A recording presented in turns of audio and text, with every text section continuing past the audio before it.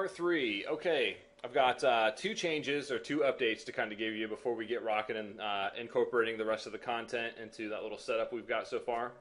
If you take a look down here, what I've done is I've gone ahead and rearranged some of the links, and I did add services in here. And uh, obviously, I'll touch on this in a minute. I will go back over everything I did. All right. On top of that, if you come and take a look at the uh, source files, I went ahead and added a uh, progress files in here, just allowing you to kind of get access from the uh, part two finished. That way, you know, if by chance you didn't like what you created, you can start part two and kind of move in and so on and so on. Part three finished, part four finished, etc. All right, so let's go ahead and hop back in here. All right, I'm going to go ahead and dump this some of this stuff out of the way. So where we left off was we've got this open stuff in here, okay, and essentially what we were doing was we are kind of playing around with these links down here. I was showing you how to use the uh, point tool and uh, basically pointing this at the file in here. Let me get this set up.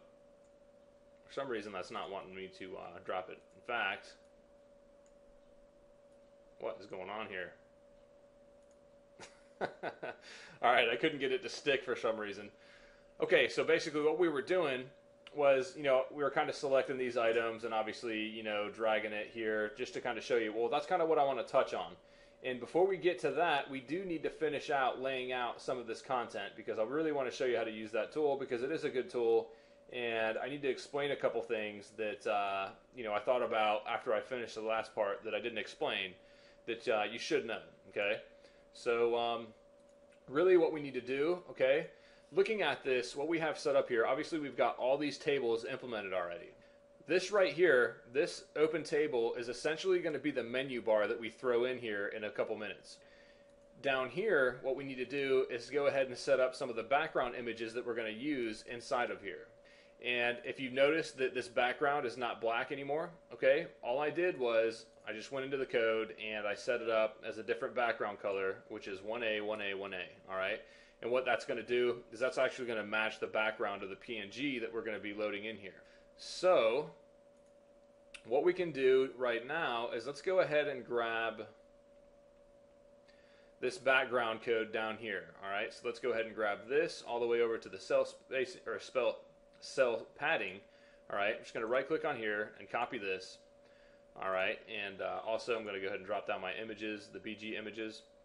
All right, what I'd like to do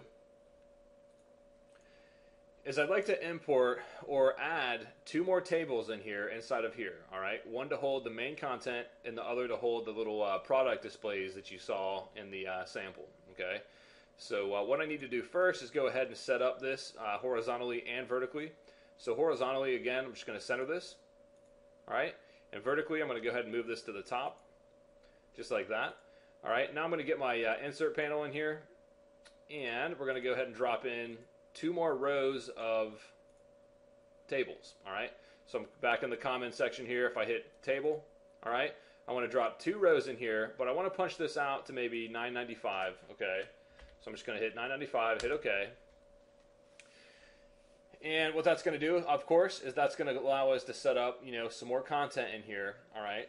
And what we need to take a peek at right now are the image sizes that we have for our PNGs that we're going to be putting in here. So the content images folder, this index table BG is 275 pixels in height, and this uh, bottom one is 70 pixels in height. So what we need to do is we need to go ahead and set the size of these tables in height up to do that. Now this top table up here is going to hold the uh, bigger image. Okay, so what we need to do is come down here to the height and go ahead and plug in 275. And then we can grab this lower table right here and go ahead and plug in 70. And of course, if I open up the uh, split design here, I'm still inside of that table that I just had, all right, the big table. What I need to do is go ahead and paste the code in here that will allow us to add an image. All right, so I'm just going to go ahead and paste that in here. We've got the file path set up so far.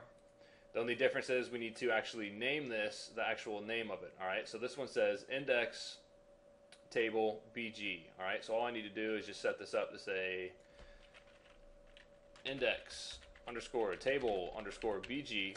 All right, so if I refresh it, you'll see that that shows up. And if we come back out here and I refresh this, okay, we've got that showing up in here. All right, looking pretty good.